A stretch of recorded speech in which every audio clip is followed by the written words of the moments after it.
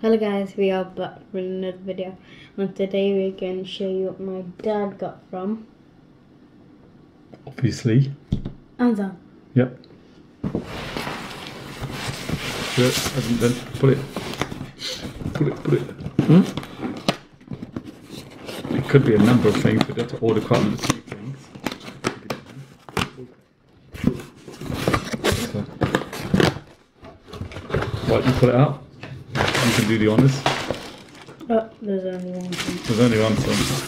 So, it is a bottle. It is a bottle, and this is whose bottle and for what? My brother's and for school. Is it for school or is it for his? PE? We'll score polar gear.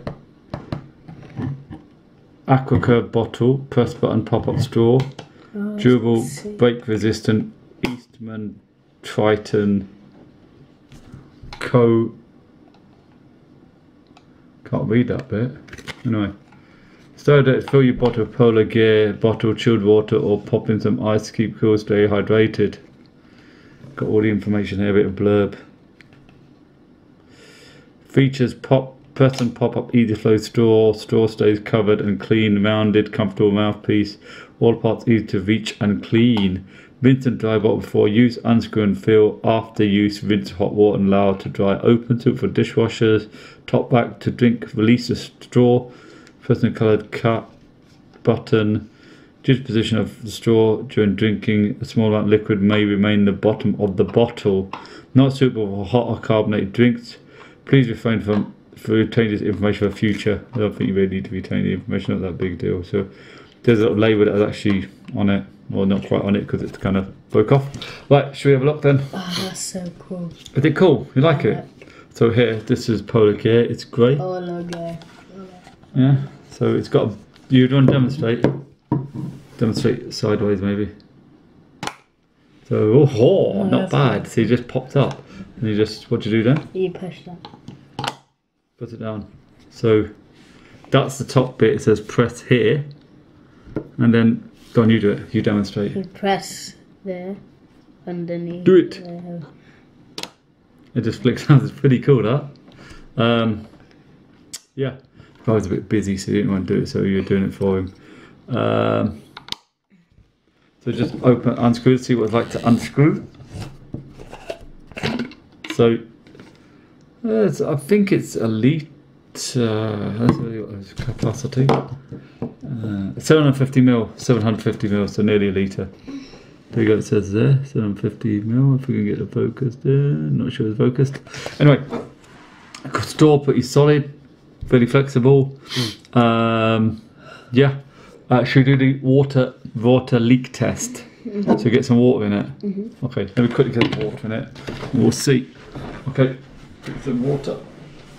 We need to get that anyway, but get some water so we can test it. We're going to fill it kind of pretty much full full. So, fill it with water. Water's in there. As you can see, water. Do you want to put the lid on? Mm-hmm. Put the lid on. Twist it round. Make sure you got it straight. Now this is going we test. So, test is.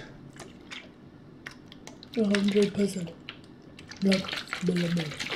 How easy does that open? Now does that open easily? So that'll stay synced. So